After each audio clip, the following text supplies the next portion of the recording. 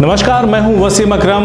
हाजिर हूँ मैं इस वक्त की सबसे बड़ी खबर के साथ सीआईबी इंडिया न्यूज़ पर। इस खबर के प्रायोजक हैं Ujjwal model school Kadipur Harkesh bypass Kaptanganj Azamgarh. अपने बच्चों के बेहतर भविष्य के लिए आज ही उनका एडमिशन उज्जवल मॉडल स्कूल में कराएँ। फतेहपुर ज़िले के खखरेड़ू थाना क्षेत्र के पौली गाँव में पिछले कुछ वर्षों से संचालित अवैध असलाह फैक्ट्री का पुलिस ने खुलासा करते हुए चार शातिरों को गिरफ़्तार कर सलाखों के पीछे भेज दिया है। पकड़े गए शातिर अवैध असलाह बनाकर ज़िले सहित अन्य जनपदों में सप्लाई किया करते थे। मुखबिर की सूचना पर पुलिस ने अवैध तरीके से बने चार असलाह सहित असलाह बनाने का उपकरण बरामद किया है।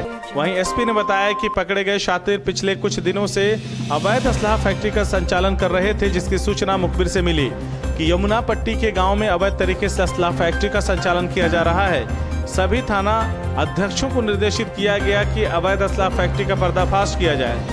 तभी खखरेड़ू पुलिस ने चार छात्रों को पकड़कर अवैध असलाह फैक्ट्री का खुलासा कर दिया। पकड़े गए अभियुक्तों के खिलाफ दर्जनों मुकदमे अवैध असलाह बनाने के दर्ज हैं। पकड़े गए अभियुक्त राजू पंडित, जुल्फिकार अली अजीम अख्तर, राजू प्रजापति को अरेस्ट किया गया है, जिनके पास से 10 बने देसी असलहे और असलाह बनाने का उपकरण बरामद हुआ है, जिन्हें अरेस्ट करके सलाखों के पीछे भेजा जा रहा है। बता दें कि ये लोग कानपुर, रायबरेली, बांदा कौसाम्बी और चित्रकूट में असलहे बनाकर सप्लाई किया करते थे।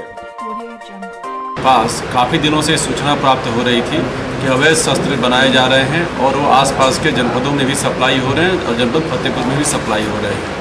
इस संबंध में खखरेरू थानाध्यक्ष, धाता थानाध्यक्ष और आसपास के जितने भी थाने हैं सबको सक्रिय किया गया और इस संबंध में खखरेरू थाना ने एक विशिष्ट सफलता अर्जित की है।